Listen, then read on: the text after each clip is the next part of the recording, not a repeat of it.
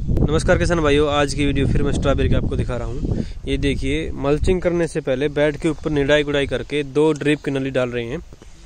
ये देखिए, बहुत ही बढ़िया। वही कल्टीवेशन सेम है, तीन फुट का बेड है, तीन लाइन प्लांट की है और दो नली सोलह एम की ड्रिप की है। ये देखिए, इस बेड पे निडाई गुडाई करके बिल्कुल घास है, कचरा है, सब निकाल दिया है। और अब इसके ऊपर मल्चिंग सीट बिछा रहे हैं और प्लांट को कैसे बाहर निकाल रहे हैं वो मैं आपको दिखा रहा हूँ। ये देखिए, कुछ बेडों में भाई ने सीट लगाई है और साथ के साथ प्लांट को मल्चिंग सीट से बाहर निकाल रहे हैं। वो मैं आपको दिखाना चाहता हूँ, ये देखिए। ये सीट पूरे फैला के बेड के ऊपर और ब्लेड से कट लगा के पौधे को बाहर निकाल रहे हैं। ये देखिए, बहुत ज़रूरी काम है स्ट्रॉबेरी के अंदर। कट आप थोड़ा सा छोटा लगाएँ ताकि इसमें घास ना उगे। पौधा पौधा बाहर आए, सीट फटे ना, सीट सही रहे और नमी बनी रहेगी इससे।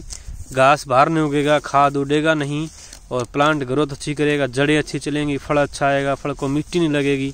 बहुत फ़ायदे हैं किसान भाइयों। ये देखिए, आज बापोड़ा गाँव में मल्चिंग हो रही है, पौधे बाहर निकल रहे हैं और बहुत ही बढ़िया स्ट्रॉबेरी खेती यहाँ पे होती है। दिनोद गाँव है बापोड़ा के जस्ट पास में। वहाँ पे पहले स्ट्रॉबेरी होती थी। अब दिनोद गाँव ये बापोड़ा गाँव में भी लगाने लग गए। ये देखिए, बहुत ही बढ़िया काम चल रहा है। मल्चिंग को कैसे दबाते हैं, कैसे फैलाते हैं, वो मैं आपको दिखा रहा हूँ। ये देखिए, दोनों साइड से बेड के ऊपर मिट्टी लगाते हैं, ताकि हवा में उड़े ना। और साथ ही साथ, सेविंग ब्लेड से कट लगा के पौधे को बाहर निकाल रही है। ये देखिए, दोनों साइड से बराबर दबा रहे हैं सीट को, मिट्टी की सहायता से।